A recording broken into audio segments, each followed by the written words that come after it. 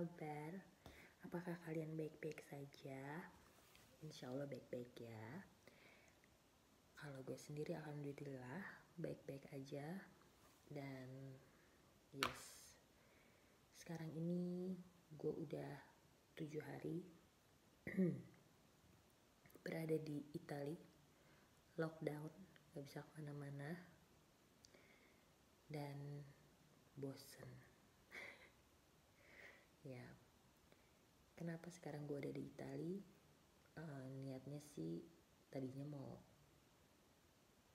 jalan-jalan ya tapi um, berhubung sekarang situasinya lagi kayak gini jadi ya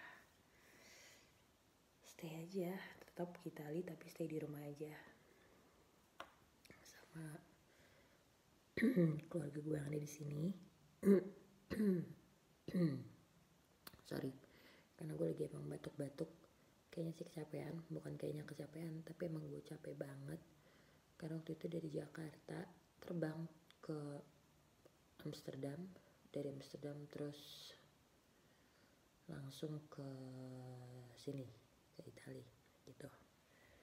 Terus ya hmm, pas gue nyampe di Italia itu tanggal berapa ya gue nyampe di Italia gue di nyampe di Italia tanggal 12 Maret. 12 Maret dan itu sepi banget di airportnya asli. Benar-benar empty. Tapi gue bukan di Milan atau di Rome ya. Gue ke Bari di which is di Apulia di Puglia. Itu benar-benar sepi banget dan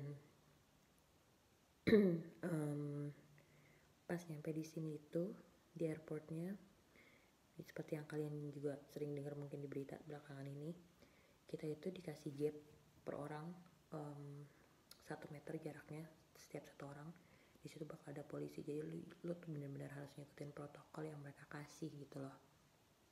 Terus lu dicek suhu badan.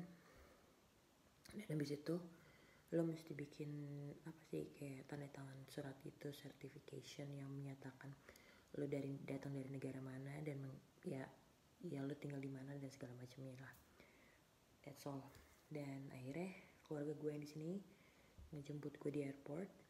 Dan perjalanan dari airport ke rumah ini itu sekitar um, 20 menitan lah ya by car.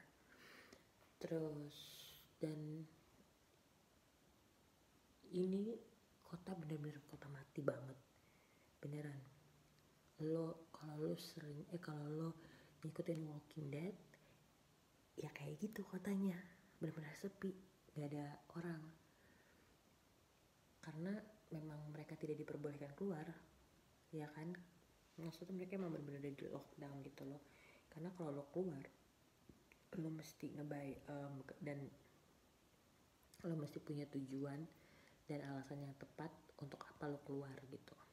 Dan lo juga mesti kayak uh, bikin satu bukan bikin sih udah ada uh, formatnya gitu certificationnya yang menyatakan kayak di situ tuh lo si, si A bertinggal di sini terus udah gitu tanggal segini jam segini lo tuh ke tempat ini untuk misalnya karena di sini yang buka cuman um, rumah sakit supermarket dan farmasi supermarket dan farmasi apotik mereka cuma buka dari jam 6 pagi sampai jam 6 sore nggak boleh lebih dari itu.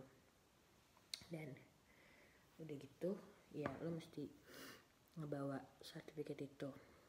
Karena nanti di setiap rumah sakit supermarket atau um, farmasinya itu bakal ada polisi sama um, paramedik sih sebenarnya. Terus nanti mereka bakal ngecek gitu. Dan di saat lo bawa sertifikat itu bukan berarti semua orang satu rumah lo bawa sertifikat si A si B bawa sertifikat jadi kita keluar bareng-bareng. No you cannot do that. Di cuma ditentuin satu orang satu doang yang boleh keluar. Ya kalau lo ketahuan pergi bergerombol gitu as what I say before lo bakal kena denda sebesar 206 euro. Gue nggak tahu berapa itu tapi ya hitung aja sendiri. Dan ya jaraknya itu pun pas masuk ke supermarket ditentuin satu meter per orang gitu loh. Ke ya makanya kenapa cuman dibolehin satu satu orang di satu rumah yang bakal boleh keluar because of that. Karena kan nggak mungkin kalau misalnya lima orang dalam satu rumah terus supermarket itu bakal panjang banget. Kayak antrian busway kemarin iya bukan? So um, jadi kayak gitu dan sekarang udah hari ke 7 gue ada di sini. Lockdown bener-bener dan karena gue sebagai pendatang di sini gue tidak diperbolehkan keluar ke mana-mana. Jadi ya cuman orang tua gue doang yang di sini yang kayak mereka ke supermarket mereka belanja apa segala macam gitu. Bosen iya bosen. Cuman mau diapain lagi ya? Tapi yang kayak kalian lihat juga um, apa sih mereka di sini orang-orangnya berusaha menghibur diri kayak dua hari yang lalu lah. Orang tua gue yang di sini itu mereka naik ke atas genteng bukan genteng sih rooftop gitu kan. Terus yang kayak um, pasang handphone dengan dengan flashlight yang nyanyi-nyanyi sama tetangga kayak gitu. Seru juga sih maksudnya ya saling menguatkan gitu loh. Ya itu bapak gue dan iya. Sekarang kalau kalian lihat gue agak ngap-ngapan karena saya sekarang sedang ada isinya jadi makanya saya ngap-ngapan. Bukan karena apa-apa ya. Ya so itu aja sih. Maksudnya kita tunggu dan mereka bakal ngebuka lockdown ini di Italia as per I know. Itu bakal sampai tanggal April tanggal 3 jadi kita lihat. Dan yang untuk ada yang di Indonesia di mana pun anda berada please stay safe. Uh, don't be selfish. Kalau misalnya kalian merasa kalian emang sakit atau kayak gimana langsung hubungin um, dia terdekat atau ke dokter lah. Jadi cepat-cepat biar ditanganin.